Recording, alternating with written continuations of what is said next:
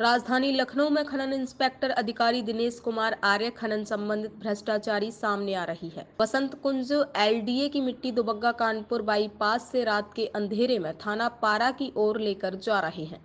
और खाली प्लांटों में डालकर सरकारी मिट्टी का दुरुपयोग करते हुए महँगे दामों में खनन माफिया बेच रहे हैं। जहाँ पर सरकारी मिट्टी को डालना है, वहाँ पर नहीं डाली जा रही। रात के अंधेरे में खनन माफिया बड़ी तादाद में डंपर चलाकर प्राइवेट प्लांटों में मिट्टी डालने का काम कर रहे हैं। आपको बताते चले, लखनऊ राजधानी में दुबग्गा बसंत कुंज में योजना को लेकर अटल राष्ट्र प्रेरणा स्थल का 22 फरवरी को प्रधानमंत्री मोदी कर सकते हैं लोकार्पण। राष्ट्र प्रेरणा स्थल में एक बड़ा मंच बनेगा, जिसमें तीन हज़ार क्षमता का ओपन एयर थिएटर, पूर्व प्रधानमंत्री अटल बिहारी वाजपेयी, पंडित दीनदयाल उपाध्याय, डॉक्टर श्यामा प्रसाद मुखर्जी के जीवन से जुड़ी स्मृतियाँ होंगी। पूर्व मुख्यमंत्री अटल बिहारी वाजपेयी की याद में बसंत कुंज में पैंसठ एकड़ में बन रहे अटल राष्ट्र प्रेरणा स्थल का प्रधानमंत्री मोदी 22 फरवरी को लोकार्पण कर सकते हैं। इसी लिहाज से एलडीए ने बाकी निर्माण कार्य को 15 दिन में पूरा करने के लिए ताकत झोंक दी है। अफसरों की टीम पिछले चार दिन से बृहस्पतिवार से अटल राष्ट्र प्रेरणा स्थल में डेरा डाले है।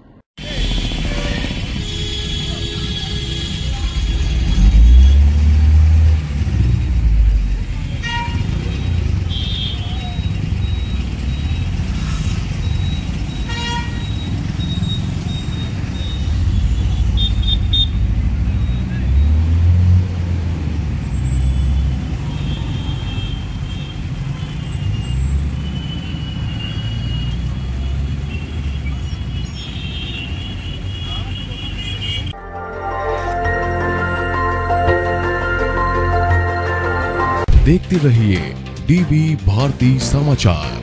नज़र हर खबर पर।